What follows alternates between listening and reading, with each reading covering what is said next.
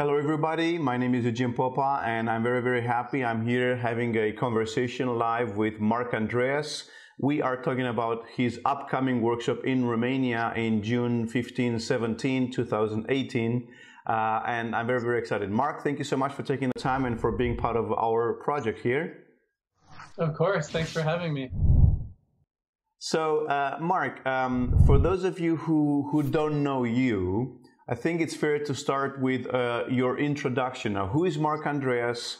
And um, you know, how did you start with with your teaching? How did you start with your NLP practice? How did you start with core transformation? Just give us a few uh, information about yourself. Sure. Yeah. So so I think a lot of people know me as the son of Stephen Connirae Andreas, who uh, been in the NLP world for a long time.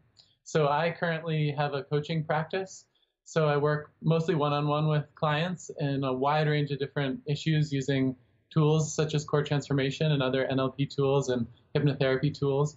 And I also do trainings, of course, um, around the US and now in Europe and other places too, heading to Asia this year as well. So really excited to be uh, joining you all in Romania and visiting a new, always love traveling to new places. Um, so yeah, I have a private practice mostly, and then I do whatever trainings are um, awesome. are uh, I want to do. So yeah. Awesome. You know, I you normally ask people. So when did you start with uh, with uh, with studying, or when did you start with your hypnosis or NLP training? But I guess in your case, yep. you studied when you're born. yep, in a in a way, I did. Yeah, it was a pretty awesome family to be born into. I have to say. So, um, as, yeah. as, you're growing up, were you constantly exposed to, I don't know, uh, the NLP teachings? Were you, um, was there any point in your, in, in your life when you thought, I would rather do something else, or how did that go for you? Yeah, it's a great question. A lot of people ask me that, and both my parents were very, um, they they were really good in that they offered us, you know, if we were interested in in what they were doing for work, they would be happy to offer it to us or guide us through things, but they didn't push anything onto us. Yeah. So I have two brothers. One's in one's becoming a doctor now, and one's a chemist. And mm-hmm.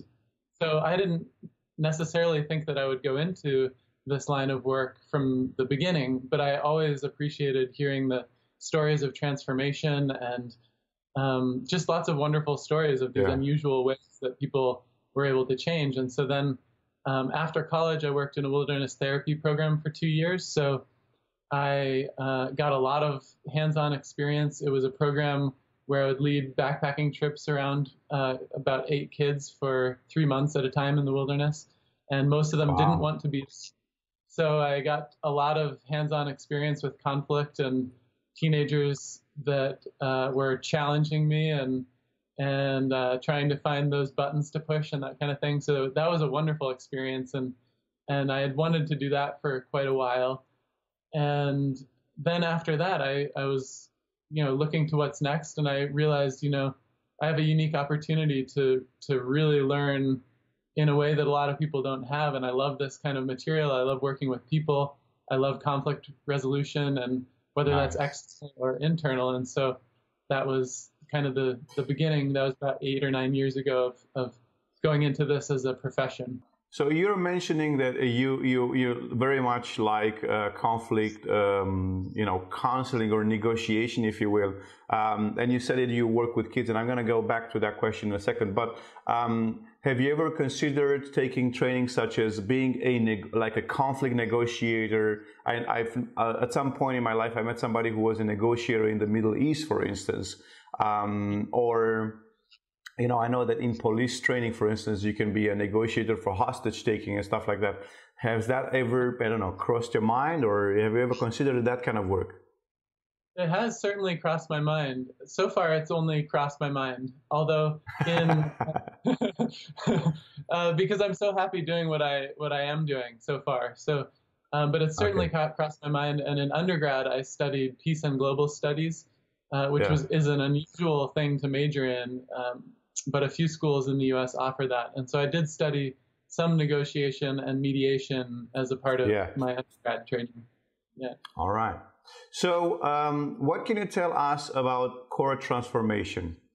What is it? How did it came up? What's the history behind it?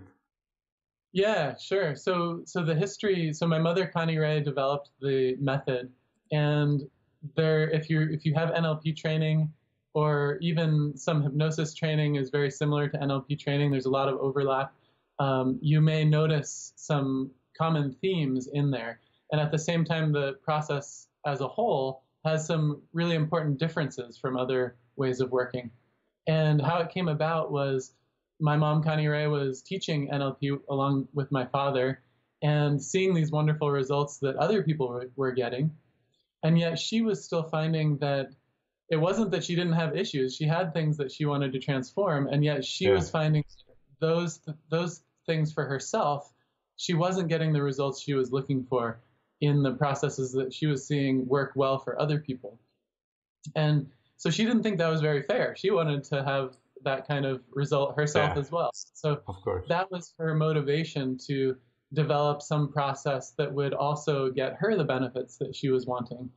And so she began by contacting people who had these issues that they had tried lots of different things with, yeah. but hadn't gotten the results they wanted. And she, this was kind of like her laboratory. And she said jokingly, uh-huh. you know, come to me and we'll, we're, we'll, I don't know what we'll do, but we'll do whatever we do, it'll be something different than what you've done yeah. before.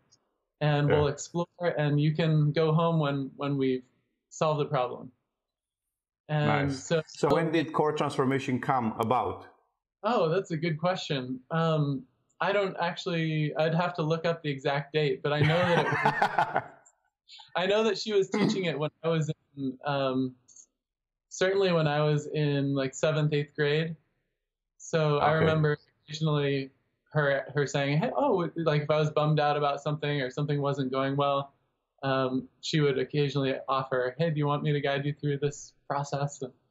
Uh-huh. And I see. So you you've you've been working with uh, with it yourself for for many many years, right?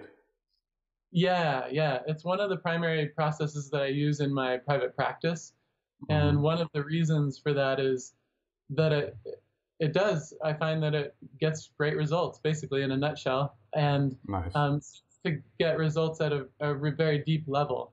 And a metaphor that um, that my mom Connirae likes to share is that some processes. So if you if you break your arm, it's really important to have a cast on that for a period of yeah. time to yeah. keep it safe and allow it to do the initial healing and that's a really important thing. You want to have a cast on there. Yeah.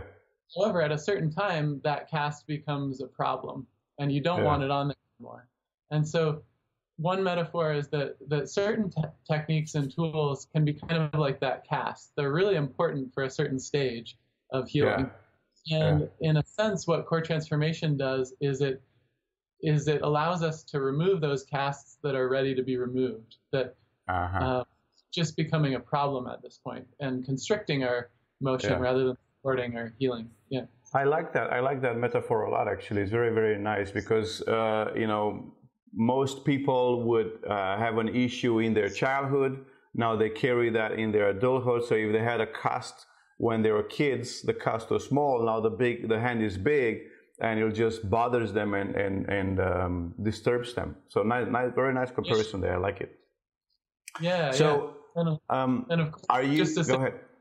Yeah, just to say one more, just to yeah. follow on what you said is that you know a lot of our uh, solutions at a certain level as a child might have been great solutions at that time in our life where we don't have a lot of uh, yeah. uh, choices or control over what's what we're doing and yeah then at a certain point um, those choices may, even if they were a good choice to make as a five year old or as a seven year old to cope with a, a, difficult situation, as an adult, may no longer, may be more restricting than it is helpful at that point. Absolutely, absolutely. So, um, you're going to come uh, and uh, teach core transformation in Romania, as you said yourself. Uh, actually, also, I spoke to a lot of uh, my peers in Romania who are teaching NLP I don't think there's any NLP course at the very moment right now in Romania who is not teaching uh, core transformation. But that okay. makes it so much better because uh, you know you're coming and they now get to learn core transformation directly from the source. So it is one of a kind uh, opportunity which i hope a lot of people are going to jump at. But um, you're going to teach a three days workshop.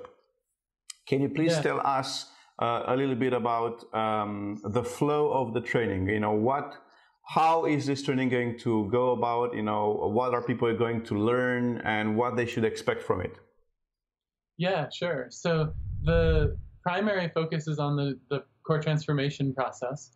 And so, in a nutshell, this is a process where we can take any feeling, behavior, or thought that we want to change and use that as a doorway to a profound state of being that we call a core state that then transforms the initial limitation.